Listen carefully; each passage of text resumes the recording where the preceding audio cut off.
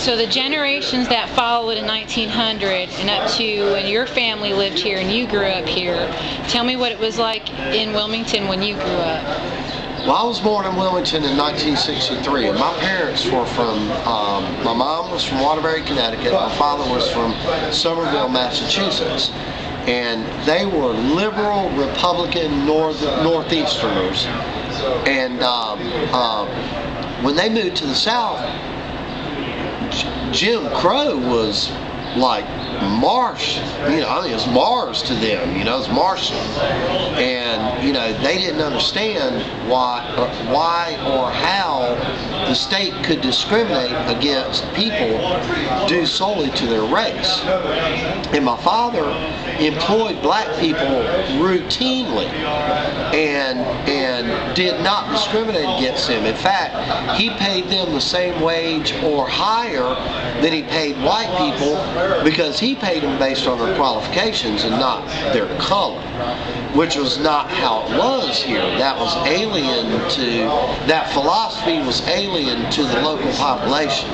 They were used to paying people based upon their race and not their qualifications. And he And- suffered, and your father suffered discrim- discrimination from Oh, other. but I remember we lived in a whites only neighborhood because back then the neighborhoods were legally segregated by state law. And so the neighbors would call up and go, Oh, uh, I see you had them niggers over there. My dad said, Yeah, the only niggers in this neighborhood are you. And, you know, yeah, I employ black people and they work better than most of the white people I've found around here. He stood his ground. then. He stood his ground. so when My you, dad didn't take no crap off of nobody. Good. So when you started school and you said you had an example the first time that there was uh, your school was mostly white, all white. When when I started attending public school in New Hanover County in 1969, my school was legally segregated. There were no black students. Um, in the middle of my first year, they brought a black girl into my class. I was six years old. She was 10. Um, the reason why they put her in first grade was because she couldn't read. She had no education. She wore homemade clothes. Um, she was dirt poor, which all blacks were then um, in my area because they had been discriminated against for so many years, decades, hundreds of years. No employment opportunities, no no chance of advancement, no education. I mean, here was a 10-year-old girl in a first grade first grade class because she couldn't read, and so they put her in first grade so she could learn how to read.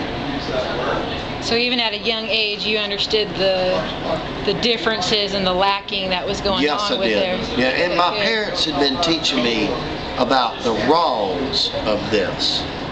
That you know that this was wrong, and this was something that needed to be changed, and that it wasn't going to happen overnight. In high school, what high school did you go to I went to New Hanover.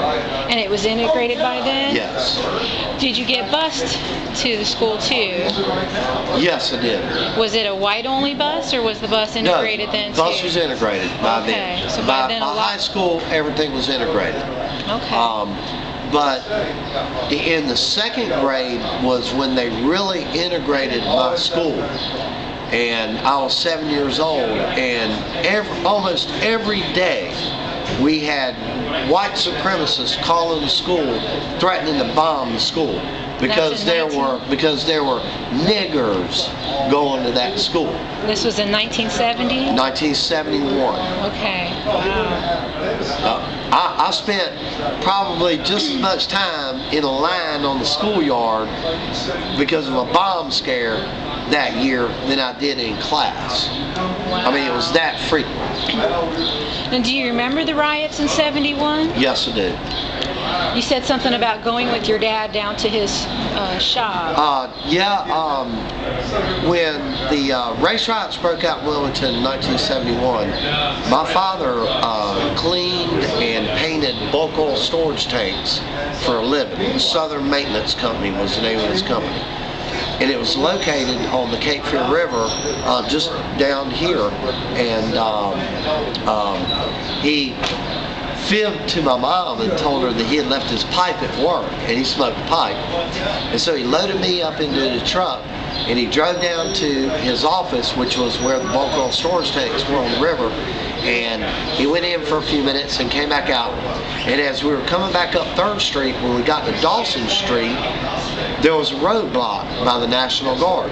And they said that the blacks were rioting and that we couldn't go up Dawson Street because that was the way back to our house. And uh, I remember looking up Dawson Street and there was uh, three or four tanks going up Dawson Street surrounded by about 100 North Carolina National Guard troops. And they were running up Dawson Street to go confront the rioters.